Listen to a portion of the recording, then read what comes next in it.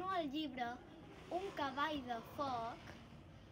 És un llibre d'intriga i fa una mica de pena. Explica la història de l'avi Quico i el seu besnet Sisquet, el, han, que han de marxar de casa quan el foc arriba al poble. El foc ho crema tot, arbres, cases, animals... El, en Sisquet veu un cavall que es crema i l'avi Quico li explica la història de l'au fènix.